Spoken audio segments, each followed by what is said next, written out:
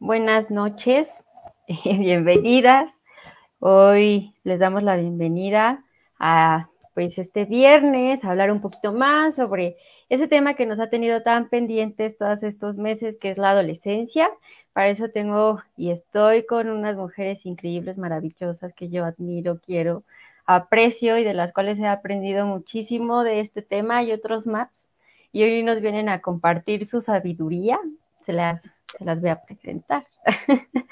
Primero, pues les quiero, quiero felicitar a todas y a todos las las personas que se dedican a la danza la disfrutan. Hoy es el Día Internacional de la Danza y es algo bien rico y sabroso para disfrutar con la cuerpa. Pues listas, chicas de mi corazón. Hoy vamos a hablar sobre eh, eh, salud sexual y reproductiva para adolescentes, porque a veces pensamos que pues esto no pasa, pero pues sí, ¿verdad? Y es súper importante. Tenemos con nosotras a Sara Eli, Sara Eli es enfermera. Ella es, bueno, pues cuenta con amplia experiencia en diferentes sectores de cuidado y promoción de la salud. Ha laborado en Ser Humano AC, Casa Hogar para Menores con VIH, Mary Stop, Centro Médico para la Atención Materno-Fetal Especializada, eh, Femicenter y actualmente pues se encuentra y la pueden encontrar en eh, Punto Médico Mujer, eh, una clínica bastante especializada en estos temas y pues en estos últimos años se ha enfocado en el trabajo hacia mujeres, en temas de salud sexual y reproductiva, métodos de planificación familiar, ILE y tomas de decisiones. Muchas gracias a Eli por acompañarnos. Hola, muchas gracias por la invitación, por la confianza y pues por tener más espacios como este. Gracias a ti por estar acá. Y también nos acompaña Stephanie Correa Espinosa. Ella es psicóloga clínica por el Instituto Politécnico Nacional. Es especialista en educación sexual y desarrollo y sexualidad infantil por la eh, Asociación Mexicana para la Salud Sexual AC, AMSAC. Y ahí también da talleres, facilita diplomados. Y a partir del 2016 ingresó a Decate México y MD Mujer, brindando consejería en salud sexual y reproductiva, anticoncepción y acompañamiento a mujeres en situación de aborto. Actualmente forma parte de la dirección médica de DKT y eh, se desarrolla como capacitadora, conferencista y vocera en radio, así como en comunicación digital. Pues muchas gracias por estar aquí, Stephanie. Bienvenida. Muchas gracias a ti, Sharon, por la invitación. Encantada de, compartir espacio contigo y con, con Sarita, por supuesto. Ay, no, muchas gracias. El placer es nuestro. Pues, chicas, ahora sí, a darle a este tema. Fíjense que les voy a platicar que durante esos temas, estos meses, perdón, hemos abordado el tema de las adolescencias y lo hemos abordado desde varios, eh, varias vistas, sobre todo de la adultez, ¿no? Porque así como que estemos en la adolescencia, pues ya yo ya la transité hace un rato, creo. Pero nos llegaron algunas dudas sobre el tema de la anticoncepción y veíamos importante tener a gente, a, a mujeres especialistas como ustedes, para que nos cuenten un poco, ¿no? Porque, por ejemplo, ahorita, hablando de salud sexual y reproductiva en adolescencias, pues quería preguntarles justo, ¿no? Eh, ¿A qué nos referimos cuando hablamos de salud sexual y reproductiva? No sé, ¿quién quiere empezar? Micrófono abierto, chicas. Eh, pues bueno, al hablar de salud sexual, eh, Evidentemente es hablar a, a todo este bienestar que compone o que está muy relacionada con la sexualidad. Y la sexualidad, si nos remitimos a lo que nos dice la OMS, pues es un estado inherente del ser humano, ¿no? Es algo que va a estar presente a lo largo de toda nuestra vida contrario a lo que se cree, ¿no? Que a lo mejor uno empieza a disfrutar su sexualidad ya cuando, eh, pues ya en una etapa adulta, pues estamos equivocados en ese aspecto. La, la sexualidad, pues bueno, desde el momento en que nacemos ahí va a estar presente y que incluso pues está ligada no solamente a factores biológicos, sino que incluso pues tiene relación con todo este aspecto psicosocial en el que constantemente la sexualidad se va construyendo, ¿no? Es este eh, es un aspecto que desde lo que nos enseñan eh, en nuestro núcleo familiar, desde que los mensajes sociales que nos envían, pues va repercutiendo en nuestra sexualidad. Y evidentemente, pues bueno, es importante hablar de esta salud sexual, que por lo general, al hablar de salud, siempre se limita como a este aspecto físico, ¿no? Si puedo ver, este, si me siento mal, si me duele la cabeza, pero no se consideran los, los, los aspectos psicoemocionales, sociales, ¿no? Que también tienen una repercusión y que pues evidentemente al hablar de una sexualidad en adolescencias hay un montón de factores, ¿no? Principalmente como restrictivos que van a tener un impacto en la salud sexual de nuestras adolescencias. Muchas gracias, Fanny. Sara, ¿nos quieres compartir algo? Y por lo regular, pues nada más nos limitamos como al concepto de salud, ¿no? Que es el estado de bienestar físico, emocional y social de cualquier individuo. Y si uno de estos se rompe, pues no estamos garantizando un estado de salud. Pero también es qué pasa con este aspecto de la sexualidad. Y muchas veces nos limitamos a el mero hecho del acto sexual, cuando también ni siquiera es tan simple, es muy complejo e implica mucho más allá, ¿no? no tenemos como bien definido el que es el sexo, qué es el género, qué es el placer, y también desde ahí, de esta parte también del adultocentrismo que tenemos, es dónde queda esta parte de nuestras adolescencias, cuando desde niños comenzamos a explorarnos, ¿no? Niños, niñas, tenemos que saber qué es lo que queremos, qué es lo que nos gusta, cómo nos gusta, el respetarnos también. Y es una parte que pues no, no tratamos, no atendemos, pero afortunadamente pues están creando espacios para poder pues sobrellevarlos y poder seguir acompañando. Qué interesante lo que las dos nos dicen, porque Fanny nos habla de la restricción y Sara nos habla de el placer. Y desde mi perspectiva, no sé ustedes ahí discútanmelo, ¿no? De repente, pues eh, la restricción eh, se vuelve justo hacia el placer mismo, porque como ya nos decía Sara, a veces creemos que ni en las infancias existe un placer, ¿no? Y entonces lo censuramos, para nosotras no es fácil hablarlo, y cuando ya atravesamos eh, o llegamos a la adolescencia, pues hay alguna laguna enorme, ¿no? De qué es esto, lo que me gusta, lo que no. Y entonces prácticamente como que si quisiéramos aventar un montón de información a las adolescencias, pero no solamente restringiendo el placer, ¿no? Sino tampoco informamos sobre esta capacidad o no reproductiva y esta capacidad de decisión sobre la reproducción. Entonces, eh, por ejemplo, ahorita que hablaba Steffi, eh, a, ver si también nos puede ahí como ahondar un poquito, ¿tú qué verías? O sea, eh, en esta situación de la restricción, ¿no? ¿Cómo ves que viven los adolescentes esta restricción del placer relacionada pues a la salud sexual y reproductiva?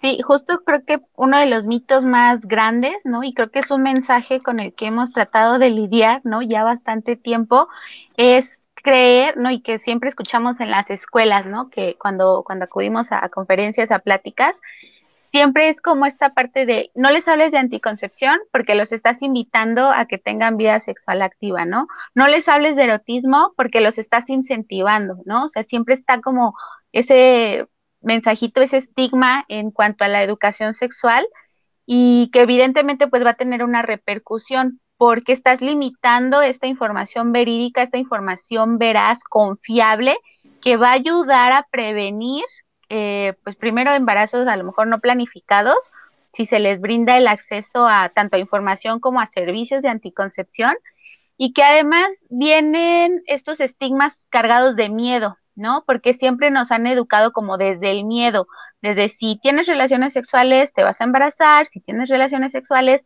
vas a tener una infección y no, y, no desde el placer, ¿no? No nos enseñan que cuando iniciamos vida sexual activa, pues se siente bien rico, es bien placentero, que si quiero masturbarme también se siente bien rico, ¿no? Entonces siempre viene como esa educación desde el miedo y que pues que ha provocado que ese miedo me impida buscar información, me impida abrirme o incluso hasta me impida poner límites, ¿no? Hacia una pareja y nos encontramos con un montón de casos cuando en donde nuestra vida sexual activa inició por presión de otras personas, ¿no? No todos, pero sí, eh, principalmente si hablamos como de la sexualidad en las mujeres, viene también como, es, como esta presión, ¿no? Entonces es como empezar a desmenuzar todo esto y nos vamos a encontrar con un montón de factores por los cuales viene esta restricción y que incluso pues también si consideramos una etapa, o sea, en la etapa de vida de la adolescencia, en donde nos sentimos muchísimo más confiados con nuestros pares, solemos creer la información que ellos, ellos y ellas nos comparten y no a lo mejor una fuente confiable, ¿no? Es como, como un aspecto importante, porque, pero ¿qué pasa? Cuando yo voy a un servicio de salud, me restringen esa información o viene el comentario de tú no deberías iniciar vida sexual activa, estás muy chiquita, este, ¿qué andas haciendo aquí? Los condones te los limito. Entonces, vienen como un montón de situaciones que ya están permeando que las adolescencias puedan ejercer una vida sexual libre y satisfactoria. Sí, ahorita que hablas sobre esto del acceso a la salud sexual, ¿no? Porque ya también ahorita estamos hablando de, se los impiden, no saben dónde. Yo quisiera que existieran muchos puntos médico-mujer por, por, todos lados y que tuviéramos muchas aritas por todos lados, porque justamente necesitamos esos servicios amigables. Y, por ejemplo, ahorita del lado de pues de la parte médica, ¿no? Ya del consultorio propiamente, pues tú con qué te topas en esta parte, porque seguramente hay adolescencias que si lo piden, eh, desde la vista de la adultez, a veces no están aprobado. Cuéntanos un poquito. Pues la verdad a mí me gusta mucho atender a adolescentes porque es como esta parte de que entre más jóvenes pues están accediendo a la información, ¿no? Y que estás iniciando tu actividad sexual también de una manera responsable, que yo hubiera querido encontrarme con este tipo de información, ¿no? Que yo a tu edad hubiera querido ir con toda libertad y poder acceder a un servicio así, ¿no? Donde no me hubieran juzgado, donde no me hubieran regañado, donde, oye, yo solo venía porque me lo pidieron para mi tarea y ahora ya hasta me regañaste, ¿no? Entonces, es como muy bonito entender y tratar con adolescentes porque precisamente tienes esta capacidad de informarlos. Puedes de, por el camino como tendría que ser idealmente, darles toda la información, darles toda la herramienta y creo que en cuanto a todo, a la edad que tengamos, si nos encontramos con un servicio amigable, vamos a regresar más fácil, lo vamos a recomendar más fácil y vamos a sentir mucha más confianza, a diferencia de que no, ni vayas ahí, ni te atienden bien, no, ni vayas ahí porque nada más te regañan, ¿no? Creo que seguimos teniendo mucho este estigma de que no vayas al centro de salud porque te van a regañar, cuando es el servicio más accesible que todos tenemos y que además es gratuito, ¿no? Es el no vayas, no vayas porque te van a regañar, pero yo la verdad ahorita no he ido a un centro de salud y que les pueda decir, no, no, no, las enfermeras y los médicos son bien chidos y te van a brindar toda la información, ¿no?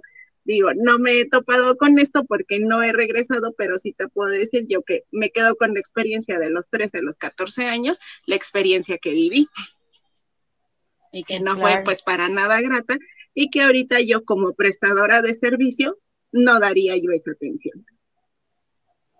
Sí, claro. Y que aquí justo algo que menciona Sarita es esta, eh, además de que obviamente se les restringe esta información a las adolescencias, a veces no sé si o las autoridades competentes no están capacitadas o se hacen, ¿no? Pero existe una norma, la NOM 047, que está eh, exclusiva para la atención a la salud del grupo de 10 a 19 años, en donde ya es una norma que debería garantizar el acceso a estos servicios, ¿no? Y que pareciera que, te digo, o no, no, no saben o se hacen que no saben, justo como para seguir negando la, la información y los servicios. Sí, también estos servicios amigables son contados, ¿no? O sea, realmente son contados, esperemos que, que, puedan ser más y que justamente a los 13, 14, 15 años, pues podamos acercarnos sin, porque incluso las mujeres adultas, ¿eh? No se crean que solo las adolescencias, a veces llegamos y nos, nos, cuestionan, ¿a poco otro hijo? ¿O por qué no quieres tener hijos? Es esta violencia, ¿no? Esta violencia ginecobstétrica que ahí está y que no sé ustedes, pero como que recién se está sacando a la luz, ¿no? Sí, sí, claro. También, por ejemplo, ahorita ya me surge una, una duda, yo aquí también, ¿verdad? sí, hay, um, en algún momento leí em, que a veces para las mujeres el tema de una interrupción es el primer, de una interrupción legal del embarazo o voluntaria del embarazo, hablando ya cuando es presencial en una clínica, suele ser uno de, de, los primeros acercamientos a una consulta ginecológica, o es el primero incluso, ¿no? Y entonces yo les eh, pondría sobre la mesa cuál sería la importancia de empezar con estos acercamientos médicos en la adolescencia, en la salud sexual y reproductiva.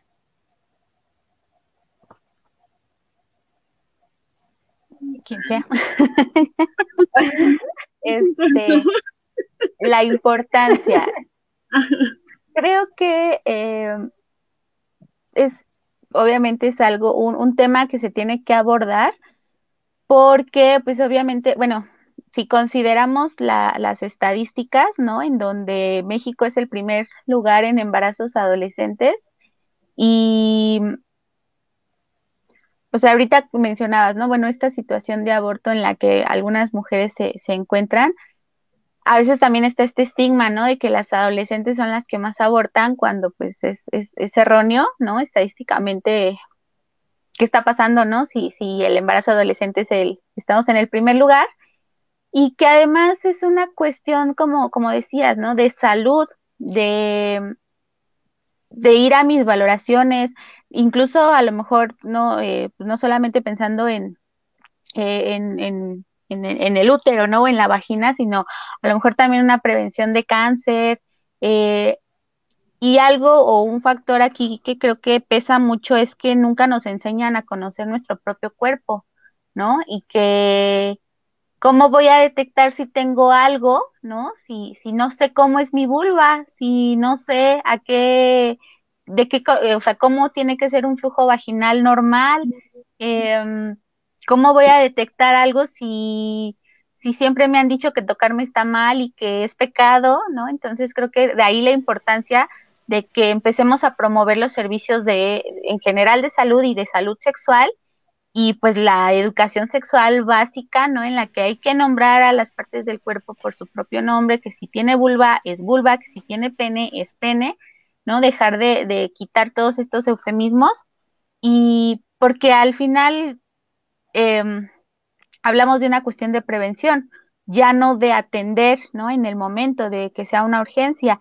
Y pues cuántos casos no hemos, de, de cuántos casos no hemos escuchado, ¿no? De, de cáncer cervicouterino, porque en la vida habían escuchado que se tenían que hacer un Papa Nicolau, ¿no? O sea, o en la vida habían escuchado que ya existen vacunas que pueden prevenir el, el cáncer cervicouterino, ¿no? El BPH, perdón, ¿no? Entonces, eh, pues esa, es la importancia, que, hay que, hay que cuidarnos, hay que prevenir antes de, que esto desencadene en una situación muchísimo más grave. Ahora, se supone que los servicios de salud, pues tenemos el primer nivel, ¿no? Que es la promoción a la salud, toda la prevención, pero realmente qué enfoque damos desde este lado como prestadores de servicio en ese primer nivel. Ya tengo a la persona aquí y nada más me dedico a atenderle la situación que ahorita le aqueja, ¿no? Ya no le doy el seguimiento correspondiente. Y muchas veces las mujeres que están accediendo a una interrupción del embarazo o que se ven en una situación de embarazo que no estaba planeado, eh, es como su primer acercamiento, pero también es como el momento preciso para que podamos acercarlas a todo lo demás. Mira, esta es la situación que tenemos ahorita, podemos resolverla, estas son tus opciones y de estas opciones tienes otras tantas opciones, ¿no? Ya de aquí, una vez que se resuelve esta situación, pues podemos orientarte a iniciar un método anticonceptivo, podemos seguir a los temas de prevención, a partir de aquí, pues tus papá Nicolau, tus revisiones, porque aparte nos bombardean como de esta información de que tienes que hacerte tu papá Nicolau, las campañas de prevención del cáncer de mama y nada más nos bombardean, pero en sí no nos hacen ver cuál es el impacto real, ¿no? De esta parte de la prevención. El que ya contemos también con servicios amigables que no los tenemos como en todos lados ni son tan accesibles, pero el que también ya haya más prestadores con este tipo de formación y con este tipo de enfoque pueda prevenir otro tipo de situaciones más adelante. Fíjense que ahorita antes de estar platicando, aquí ya con ustedes, ahorita ya hablábamos también como del tema de la violencia, porque ya hablábamos de la importancia y entonces eh, Fanny ya nos dijo que para poner límites, para nombrar el cuerpo, para tomar decisiones, pero aquí también nos están diciendo el tema de promover, prevenir y las situaciones que puedan venir más adelante, pues no solo de salud, ¿no? Eh, aún, por ejemplo, incluso detectando violencia obstétrica, eh, identificando violencia en, el, nuestro contexto más cercano, ¿no? Que como bien ya nos decía Fanny, pues la salud sexual y reproductiva no solamente es eh, la parte física, sino también cómo lo vivamos nosotras. Y también me impacta mucho esto de, pues de que no sabemos, ¿no? Eh, prácticamente cuando somos adolescentes, lo que importa es que no nos embaracemos o que no nos infectemos de algo, ¿no? Que no adquiramos un bichito, una infección de transmisión sexual. Pero ahora que ustedes están platicando, pues prácticamente se omite un montón del cuerpo, ¿no? Se omite prácticamente, pues que somos personas sexuadas y que cualquier parte de nuestro cuerpo, pues también necesita, necesita una revisión médica. Y, por ejemplo, hablábamos ya de, la importancia de hablar de salud sexual y reproductiva, pero ¿habría algún otro tema que ustedes eh, vieran que nos, nos, falta nombrar sobre por qué es importante hablar de salud sexual y reproductiva en la adolescencia? Uy, creo que, no sé, híjole, aquí nos vamos a aventar toda la noche. Eh, fíjate, algo curioso, ¿no? Y, porque incluso, como decías, ¿no? Siempre nos meten este miedo, bueno, no sé, al, menos creo que nosotras, ¿no? ese, ese factor en común que nos meten el miedo, ¿no? Yo me acuerdo en mi adolescencia, para mí, un embarazo era como de, o sea, a mí me daba muchísimo miedo, ¿no? O sea, la posibilidad de que se diera un embarazo, ¿no?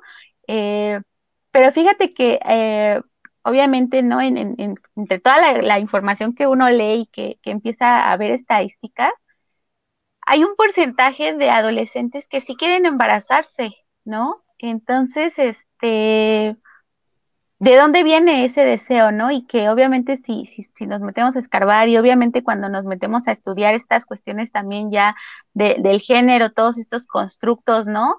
De esta imposición o este rol que se nos impone de ser madres, ¿no? Esta figura tan engloriada que está y, este porcentaje de mujeres, de acuerdo a la, eh, a la encuesta nacional de la dinámica demográfica, del 40% de, de adolescentes que no utilizaron un anticonceptivo, el 16% tenía este deseo de embarazarse, ¿no? Y, y, si consideramos que a lo mejor todavía en algunas regiones eh, es, su estándar, ¿no? Es a lo máximo a lo que yo aspiro a llegar y que claro que en la adolescencia a lo mejor si tengo un embarazo para mí está súper bien porque ya estoy cumpliendo esa función que me, que me están diciendo que tengo que cumplir, ¿no? Entonces creo que también ahí es importante hablar de todos estos roles de género, de toda esta construcción y todos estos estereotipos que hay alrededor de nuestra sexualidad, ¿no? O sea, a cuántas incluso desde niñas nos regalan la, muñeca para cuidarla, la cocinita, y, y no, no, no, quiero decir que sea algo malo, ¿no? Si la persona así lo desea y así le gusta, ¿no? Porque se vale. Pero hay que cuestionarnos, ¿no? ¿Desde dónde viene ese, ese deseo a lo mejor de ser madre? ¿Es realmente algo que yo quiero o es algo que me impusieron y que me están obligando a cumplir?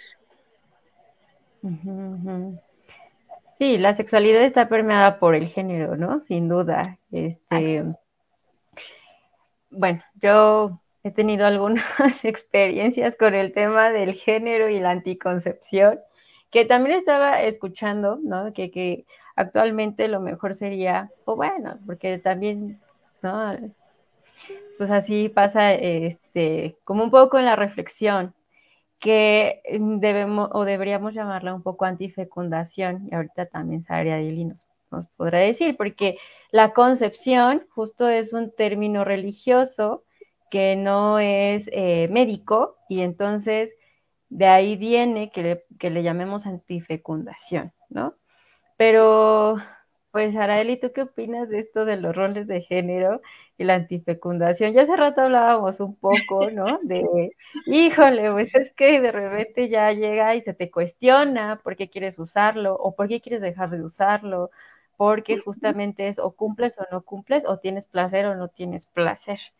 Cuéntanos un poquito. Sí, pues tiene que ver mucho la formación que tenemos, la crianza, el estereotipo, porque como bien lo dice Fanny, ¿no? A nosotras, por ejemplo, desde niñas se nos impone, no conozco a ninguna sola niña, ninguna sola mujer que no haya tenido la muñeca o el bebé para cuidar, ¿no? No sé, el que, hayas tenido, el, que hayas tenido, incluso pues de unos años para acá ya estaban estos que todavía eran los bebés prematuros, ¿no? Y que incluso hicieron como mucho ruido porque ya había que tener otro tipo de cuidados. Entonces ya desde estas nuevas generaciones también ya saben que no todo el tiempo vas a tener como un bebé sanito, sino que en algún momento vas a tener que requerir de eh, llevarlo al hospital, las vacunas, los cuidados. Entonces fue como un tema que yo dije, ¿qué? ¿Por qué estas niñas están creciendo con este tipo de muñecos? ¿Por qué este tipo de juguetes?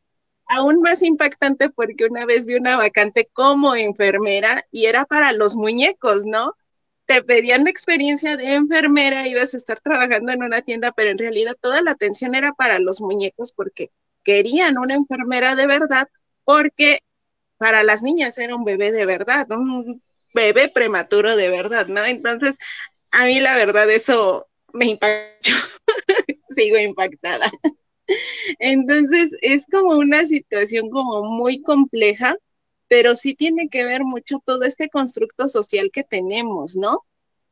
Ahora también en cuanto al acceso a, a métodos antifecundativos, anticonceptivos, el poder planear, el poder tenerlo también es como el, ¿y para qué lo quieres? ¿Y por qué lo quieres? Y tienes pareja y tu pareja te lo autoriza y tu marido y ya te casaste y los hijos. Entonces también se viene como una serie de cuestionamientos que si yo ahorita como una mujer adulta empapada del tema, he vivido este tipo de situaciones, me pongo en los zapatos de un adolescente de de 13, 15, 16 años, de la edad en que esté decidiendo iniciar,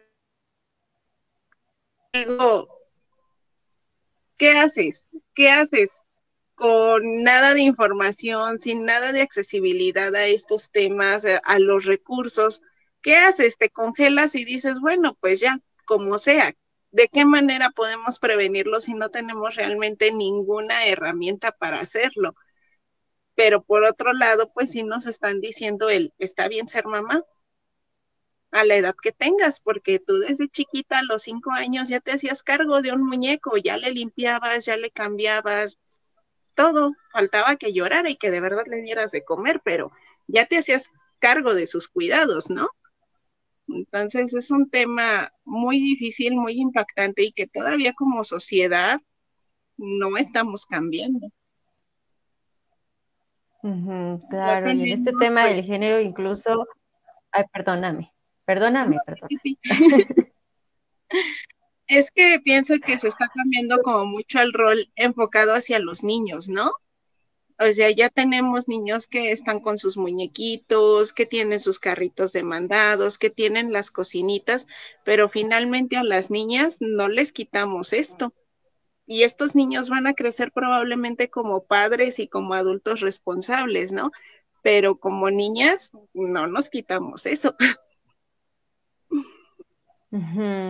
Sí, también escuchaba esta parte de, las masculinidades, ¿no? En donde eh, es como si ayudaran, ¿no? O sea, como si les damos chance de que empiecen a aprender y que empiecen a ejecutar esta parte de las labores en casa. Sin embargo, las mujeres, eh, y se les, se les celebra, ¿no? A, las masculinidades. Y entonces llegamos a las mujeres en donde ya hacían esto, se les agrega la carga laboral fuera del espacio privado y entonces, no, o sea, es como si era tu responsabilidad, ahora la parte de trabajar es tu responsabilidad, ¿no? Y aparte, la, la crianza y el tener hijos sigue siendo tu responsabilidad. Y entonces nos van llenando de tareas a las mujeres y a los hombres es como apenas unas, unos pellizquitos de todo lo que se tendría que, hacer. Carla Morales nos manda aquí un mensaje. Te queremos, Carla. Y nos dice, hola, agradezco escucharlas.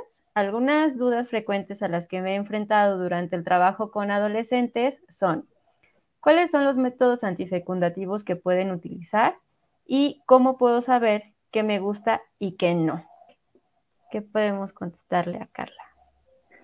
Pues saber qué me gusta y qué no me gusta explorando, ¿no? O sea, hay la autoexploración, la masturbación, poder identificar, ah, esto me gusta. Y algo también, eh, dejar de pensar en el, en el erotismo como algo genital, Ay, perdón.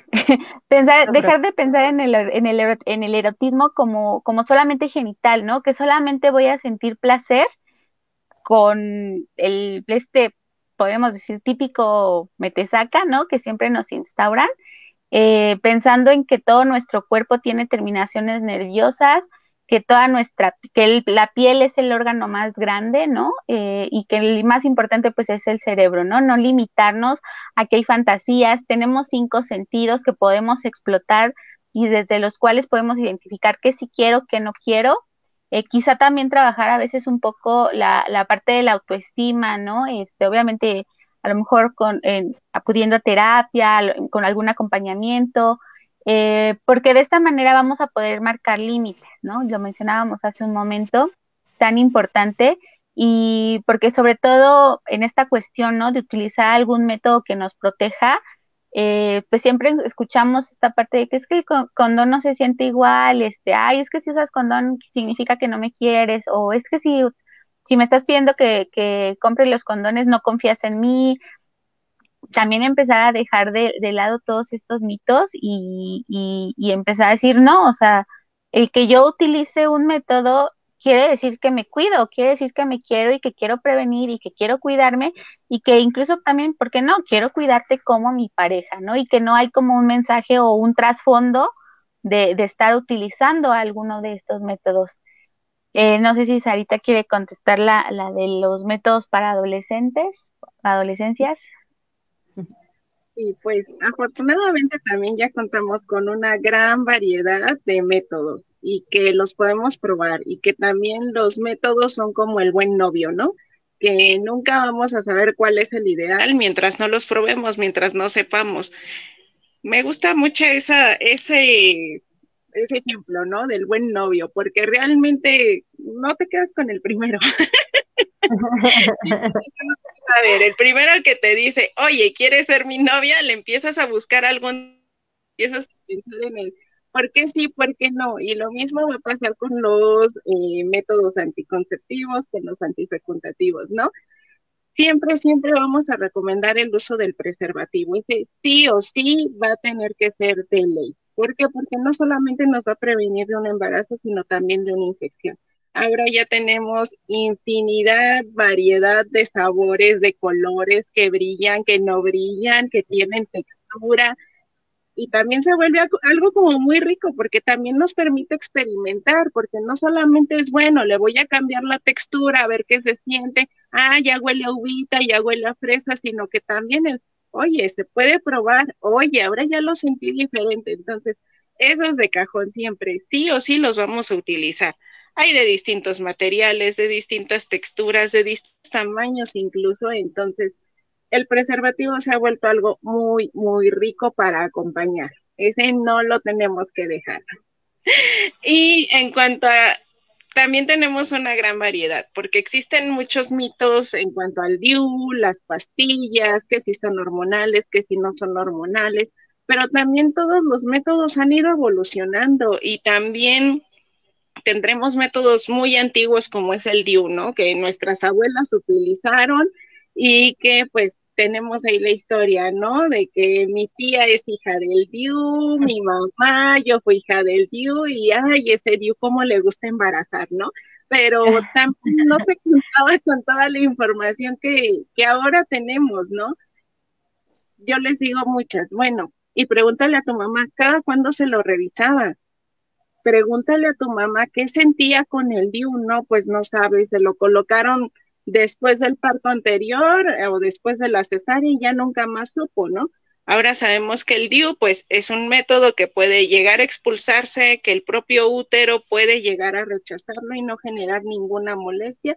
Y pudo que ese DIU se expulsara en ese primer mes, nunca nos protegió y después ya se dio un embarazo, ¿no? Y le echamos la culpa que es un método que no sirve, pero ahora ya sabemos que es un método que tenemos que revisar, que tenemos que revisarlo a través de ultrasonido y que también ya existen distintos tamaños y que también lo podemos utilizar mujeres que ya hemos tenido hijos, que no hemos tenido hijos, mujeres jóvenes.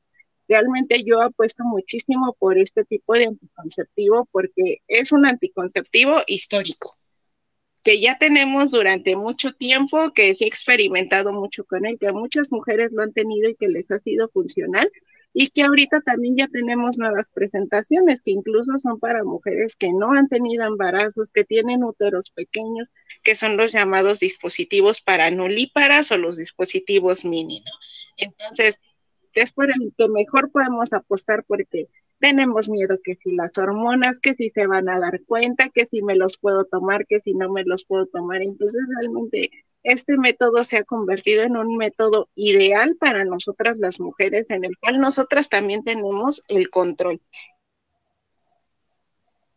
de nosotras, que yo estoy segura de que ya fui, me lo coloqué, me lo enseñaron por el ultrasonido, ya fui a mi revisión y yo ya sé que está bien, ¿no?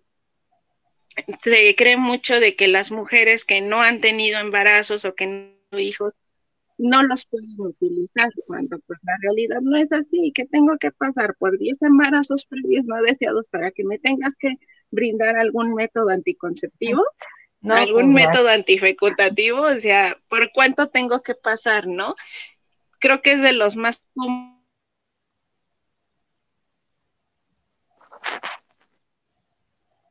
Te nos atoraste, Sarita, ¿estás ahí? Eh, o los periodos un poco más prolongados o abundantes, pero también que no va a ser siempre, que solamente puede ser los tres primeros meses en los que nuestro organismo se adapta al método, que también utilizar cualquier método hormonal puede ser funcional y puede ser ideal para nosotras también si es el método que yo estoy buscando y que también me va a traer otro tipo de beneficios, ¿no? Ahora, en cuanto a las pastillas anticonceptivas, también antes solamente teníamos una, teníamos una sola combinación de pastillas y ya párale ahí porque no tenemos más, ¿no? Y la pastilla si también nos da libertad, también es como un, ay, me la tomé, no me la tomé, ¿qué hice? ¿A qué hora me la tomé? Entonces también hay que ser como muy constante con ella. Y es un método efectivo y seguro porque también ya hay muchas variantes de combinación de pastillas que también nos pueden beneficios porque creemos que los periodos son normales, abundantes, que hay mujeres que ponen como regla, ¿no? Que tu periodo tiene que durar tres días, que no tiene que haber cólico o tiene que ser tolerable y no tan abundante, cuando también la realidad no es esa. Y también los, eh, pues este tipo de métodos nos pueden brindar otros beneficios, regular los periodos, incluso la ausencia del periodo menstrual, si nos quita el periodo, nos quita el cólico y que también no va a traer ningún otro tipo de cambio. Ni nos va a dar cáncer, ni cuando se presente la menstruación vamos a tener una hemorragia inmensa que no vamos a parar y vamos a inundar la calle. No, no, no, simplemente se pone en pausa y ya no tenemos el periodo menstrual. Entonces también resulta algo bastante cómodo, ¿no? Por ejemplo, remontándonos al tema como de la menstruación, tenía mucho miedo de menstruar porque yo veía a mis compañeras que decían, es que no puedo salir a jugar, es que no puedo hacer deporte, es que no puedo hacer esto. Y yo, ¿por qué? porque estoy en mis días y yo decía, ay no, yo no quiero tener eso porque yo quiero seguir jugando, yo quiero seguir corriendo, ¿no? pero también no conocía yo el impacto de que algunas mujeres tenían periodos muy dolorosos, muy abundantes y que no era que porque estoy en mis días no puedo hacer esto, sino que realmente me lo impide. Entonces el usar algún tipo de hormonal también nos ayuda a reducir todas esas molestias y de verdad, como nos lo dicen en los anuncios de toallas femeninas, ¿no? Que nada te pare, nada te detenga, porque realmente así no tendría que ser. Y creemos que así es. O sea, yo hubiera querido tener esa información y no hacerme telarañas en la cabeza. Así que adolescentes, si me están oyendo y si me están viendo, no es normal. Ni nos quedemos como con esa idea, ¿no? Porque lo tenemos muy normalizado y también es como esta parte de, bueno, puede haber, puedo utilizarlo como tratamiento, no tengo actividad sexual, pero lo puedo utilizar como un tratamiento para quitarme todas estas molestias, todos estos malestares. Entonces, sí, es como, va a depender mucho de nuestras necesidades, de qué es lo que querramos, para qué lo queremos utilizar, por cuánto tiempo. Entonces, va a depender mucho, pero tenemos que saber que básicamente podemos acceder a todos ellos, porque estamos hablando aparte de adolescentes en el que son mujeres aparentemente sanas, ¿no?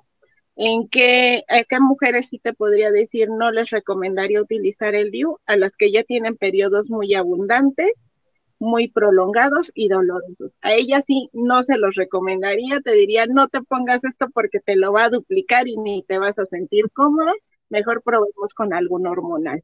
Eh, chicas que tienen problemas de migraña, antecedentes de cáncer de mama, sería como para pensar ahí el uso de algún hormonal. De ahí en fuera, si no tenemos como ninguno de estos, podemos explorar con toda la variedad de anticonceptivos que tenemos. Justo aquí creo importante, complementando con toda esta info que ya nos compartió Sarita, existen criterios de elegibilidad, ¿no? Entonces, aquí sí es importante para las adolescencias que no consuman, ¿no? Pastillas inyectables si no han acudido a una valoración médica. Eh, bueno, en general, no solo las adolescencias, ¿no? Todas, este, ¿por qué? Porque si hay algún padecimiento, si hay algo que me está impidiendo, sobre todo por eh, el tema con los hormonales, ¿no? Que son los que podrían a lo mejor por ahí disparar algo, si, si ya tengo un padecimiento previo y no lo había detectado. Entonces, sí, por favor, antes de utilizar cualquier método, acudan a una valoración médica, que se exploren sus antecedentes eh, familiares para poder determinar si ese método es ideal para ustedes, si ese método trae más beneficios que, este, que consecuencias. Entonces, solamente también esa, esa invitación, acercarse a, a los servicios de salud. Gracias, Fanny. Sí, sobre todo la consejería en cuanto a anticoncepción o antifecundación, la podemos recibir no solamente de ginecólogos, porque tenemos como muy centrado este tema, ¿no? Como que solamente con el ginecólogo, cuando pues somos enfermeras, psicólogas, trabajadoras este, sociales, quienes también podemos brindar este tipo de información, toda esta capacitación. Y no nos quedemos nada más con la idea de que un ginecólogo o ginecóloga nada más son los encargados de darnos esta información, porque son los expertos en ginecología. No, aquí tenemos también expertas y que no somos ginecólogas y que también podemos orientar en cuanto a cuál es el mejor anticonceptivo. Y yo te puedo orientar, yo te puedo decir, te puedo decir, te podemos hacer tu historia clínica, podemos saber qué tipo de anticonceptivo acorde también a tus necesidades, ¿no?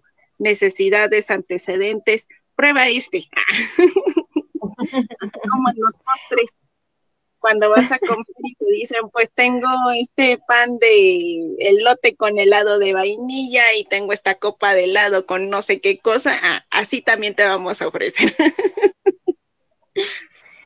Sí, qué, importante lo que nos dice, ¿no? O sea, eh, en DKT podemos encontrar consejería con Stephanie en Punto Médico Mujer, tanto la consejería como el acceso a otros servicios de salud.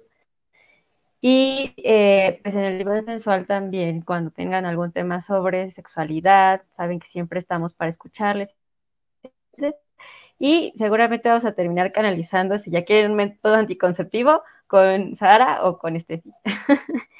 y Mecare de Romanos nos dice aquí, dice, creo que es muy bueno que toquen el tema del DIU, porque como nos dijo Sara, ponemos ahí un montón de, de adornos buenos y no tan buenos, ¿no? Dice sobre el DIU en chicas que no han sido madres. ¿Hay alguna restricción en edad para colocarlos? Ya nos habló Sarita más como del tema de si tenemos flujo abundante en la menstruación, pero ¿hay alguna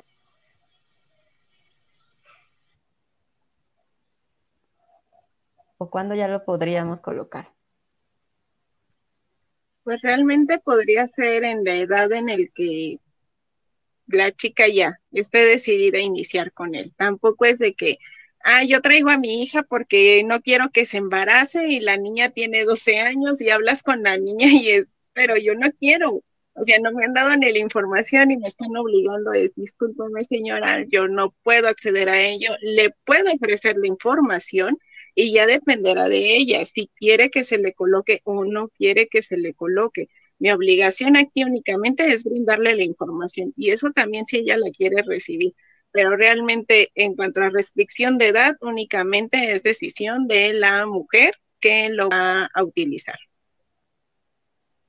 No habría como una restricción en cuanto a, la edad. Que también difícilmente va a llegar una niña de nueve años, ¿no? que ahí hablaríamos como de otros temas que estarían como más relacionados a violencia, a violaciones, pero que llegue a alguna menor de edad por sí sola, pues no.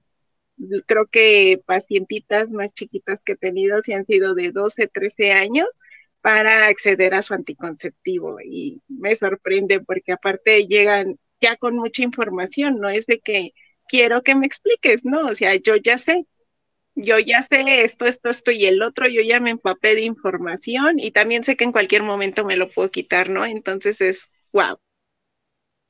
A mí. Sí, eso alimenta la corazona. Sí, y este es otro mito. Eh, por ejemplo, yo también he escuchado mucho que las adolescencias no buscan anticoncepción, ¿no?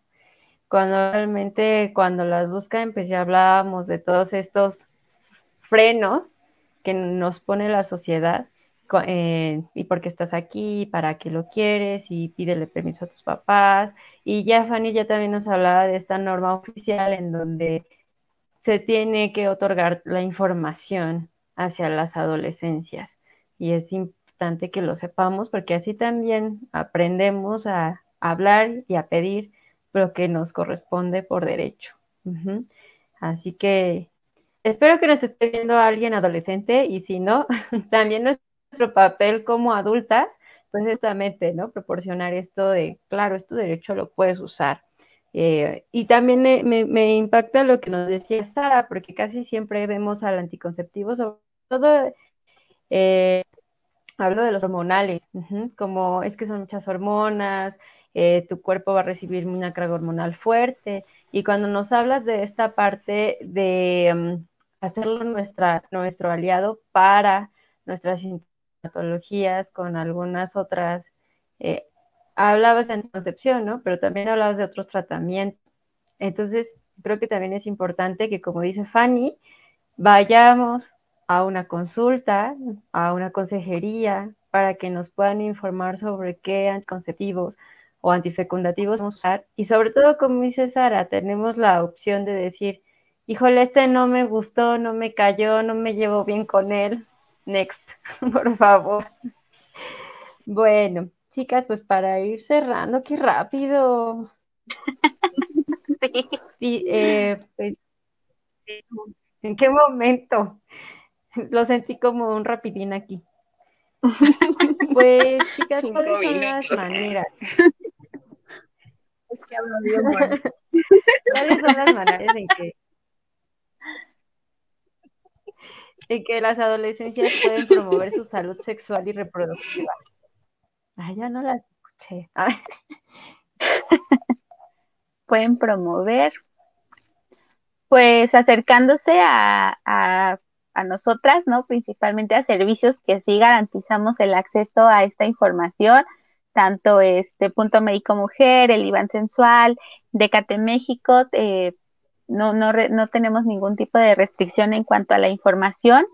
Em, quizá a lo mejor también a veces volvernos como, volvernos redes de apoyo, ¿no? Entre grupos de adolescencias, ir compartiendo la información, o sea, una vez que reciben información verídica, poder compartirla con sus pares eh, y que incluso a veces también hasta, o sea, también nos sorprendemos porque a veces también ya las adolescencias son quienes jalan a los papás y a las mamás, ¿no? A este tipo de, de, actividades, de eventos como de, oye, mira, esto está bien, chido, vamos, este, y que creo que también eso ha permitido que cada vez más la educación sexual se vaya abriendo, ¿no? Y ya ya no sea tan restrictiva y tan, no esté tan mitificada ni tan satanizada, ¿no? Estigmatizada.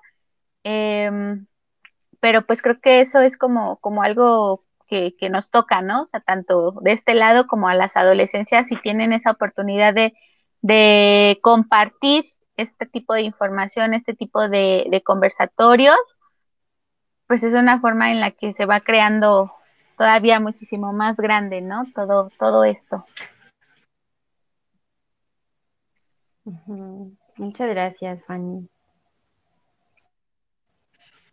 Sara, ¿cómo, ¿cómo me podemos promover más estas manos de las adolescencias? Pues radica también una parte de la confianza, ¿no? La confianza que tienen nuestras adolescencias para con los adultos que los, que los rodeamos, ¿no? El que tengan esa confianza de compartirnos, de decir, oye, vi esto, es que vi aquí, es que vamos acá, vamos al otro. Se habla mucho de que ya tenemos mayor acceso a la información, que la información la tenemos aquí a la mano en el celular, pero realmente podemos tener mucho, mucho acceso, pero si no tenemos tampoco esa confianza, sobre todo hablando de adolescentes, son dependientes dependientes de un adulto, dependientes de que guardo lo de mis recreos y a dónde me voy, ¿no? Entonces, necesitan mucho apoyo, mucho apoyo financiero, el apoyo eh, social y que podamos ser como este parteaguas, ¿no? Hay muchos servicios, hay muchos servicios que son amigables, que afortunadamente vamos creciendo eh, y que también no muchas veces vamos a ser empáticos o no vamos a tener como el mismo clic, ¿no? A lo mejor me sentí muy bien aquí y ya cuando voy una segunda vez, sabes que ya no me gustó. Entonces también no se cierren a un solo profesional, no se cierren a un solo lugar. Ya fui, me hablaron de aquí, me hablaron de allá, aquí me sentí cómoda, aquí no, pero el saber que podemos acceder a la información y a los servicios, ¿no? No nos cerremos. A veces nos quedamos con un maltrato, con una mala experiencia y no nos quedan ganas de nada, pero créanme que si nos buscan nos encuentran. Entonces sí, a veces pasa como de boca en boca y es como un poquito difícil, pero los servicios están y nos vamos a encontrar. Muchas gracias, Sara. Sí, hay veces que hay un montón de puntos que, están muy, interesantes. Ahí Carla nos, nos menciona uno. Dice que es importante lo que comparte Eli, dado que algunas tutoras o tutores creen saber lo que necesitan sus, ¿no? Porque además lo menciona en el, en el sentido de pertenencia, o sea, ojo, ¿no? respetando como esta autonomía o esta individual en donde las adolescencias, justo como dice Sara, pueden, pueden decir qué es lo que necesitan y no, imponiendo métodos antifecundativos o incluso la manera en que la que debe vivir su sexualidad. La manera en la que debe vivir su sexualidad. Si tiene novia o novio, si inicia o no su vida sexual, en fin, gracias por decirlo. Y sí, porque justo en esta parte de yo soy la adulta y yo sé lo que te conviene, pues de repente esto se vuelve violento. Hay que, hay que decir que las adolescencias también tienen derecho de decir qué necesitan, qué quieren, cómo lo viven y que podemos desde una perspectiva adulta imponer un método anticonceptivo, sin embargo, si no lo quiere, no lo necesita. Y al revés, ¿no? Cuando quieren la información, pues justo donde hay que acompañar para que la pueda tener. Bien, chicas, pues ya se nos acabó el tiempo. Qué rápido. Yo quisiera más, qué rápido, yo no sé en qué momento, pero para cerrar, este, pues algo que les dirían así muy rápidamente a las adolescencias, ¿no? Que ahorita nosotros estamos aquí platicando como adultas, pero ¿qué les dirían a las adolescencias en este sentido de su salud sexual y reproductiva? Oye, este, pues, híjole, no, es que la verdad es, podemos abordarles tanto, ¿no? De verdad, uno quisiera eh, poder compartirles, ¿no? Toda la información a lugares a donde acercarse, eh, que disfruten, ¿no? O sea, que disfruten su, sexualidad. Yo sé y, sabemos que hay un montón de mitos detrás de todo esto, ¿no? Que nos impide disfrutarnos. Em, pero hay que seguirnos informando. Eh, incluso a veces también el mensaje no solamente sería a las adolescencias, ¿no? Sino a quienes atendemos a las adolescencias, a los padres, a las madres, tutores, infórmense, ¿no? O sea, empecemos a desmitificar la educación sexual, empecemos a desmitificar la propia sexualidad, ¿no? La sexualidad es tan, aborda tanto, aborda tanto, tanto, tanto, y pues hay que acercarnos, ¿no? Hay que conocer, eh, eh, volvámonos aliadas de las adolescencias, ¿no? Muchas gracias, Fanny. Sara, ¿qué les dirías? Que se quieran mucho.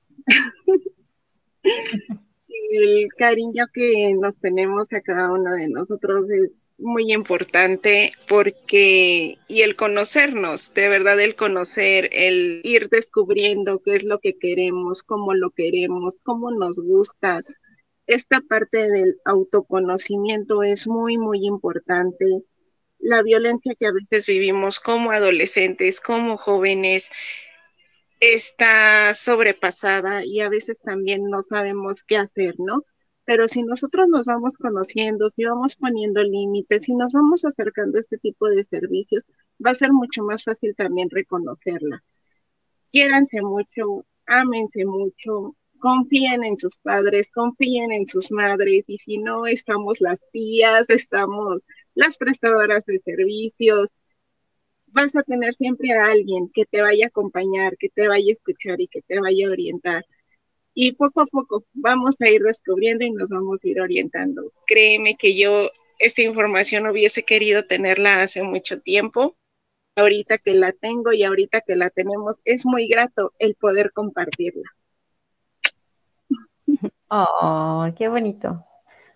Pues los besos para todas y todos. yo también quisiera reforzar el tema del placer. Todas tenemos derecho al placer. Vivirlo con dignidad es lo más rico del mundo. Poder disfrutarla con los servicios que aquí ya nos han hablado Sara y Fanny también, y que sepamos que siendo adolescencias también podemos acceder a ellas para, para cuidarnos, sobre todo, independientemente de el tema del embarazo para sentirnos bien y para que podamos vivir con, pues, de la manera más placentera posible. Pues, chicas, díganos dónde las podemos encontrar, cuáles son sus, sus redes, para que también si alguien nos está viendo y tiene dudas de, de poder acceder al DIU o a las pastillas o alguna eh, cita, tal vez, ¿no? Para simplemente un servicio de salud sexual y reproductiva, pues ¿dónde las podemos encontrar? Eh, pues a mí me pueden encontrar en DKT México, si igual requieren alguna capacitación, eh, plática sobre este, sexualidad, pueden escribir a mi correo scorrea.dkt.com.mx Acá también contamos con un consultorio médico que brinda acceso a, métodos. Eh, pueden encontrarnos en Facebook como DKT México o como Condones Prudence. Ahí pueden encontrar los números de contacto en caso de que quieran sacar alguna cita. No, eh, obviamente se atiende a todas las personas. Incluso nosotras también brindamos el servicio de vasectomía. Aquí por cuestiones eh, pues ya de, de este, Aquí sí se ofrece solamente a, a hombres mayores de 18 años, ahí sí no, no se les brinda eh, cuando son menores de 18, pero pues bueno, también fomentamos, ¿no? Esta parte de esta participación activa de los hombres en, en, la, en la planificación, en los métodos. Entonces, en Facebook y en, Instagram también de Cate México, ahí encuentran nuestros contactos para que puedan sacar cita en caso de estar interesadas eh, e interesados en vasectomía también. Adelante. Muchas gracias. Ahorita, ¿dónde te encontrás? Pues ahí me encuentran en el consultorio médico de Punto Médico Mujer. Nos encontramos sobre Calzada Ignacio Zaragoza número 99, a una cuadra del Metro Moctezuma. Este, pues yo estoy ahí básicamente apoyando en el servicio de consulta médica, pero también yo, yo doy el servicio de consejería en anticoncepción y la colocación de los métodos anticonceptivos. Por cualquier situación, pues ahí me pueden encontrar. El número es 55 28 95 77 91 y en las redes sociales nos encuentran así como punto médico mujer. Igual si googlean mi nombre les van a salir mis redes sociales. y de manera personal, pues también con toda confianza pueden escribirme. A veces me tardo como un poquito en contestar, pero también de manera personal les puedo dar la información. Perfecto, pues ya tenemos aquí a dos grandes para el tema de salud sexual y reproductiva, para que podamos darle continuidad a este tema que ya cada una necesita atravesarlo de manera personal y de verdad que, que son muy, muy sororas, muy, muy es el, es el nombre de los servicios.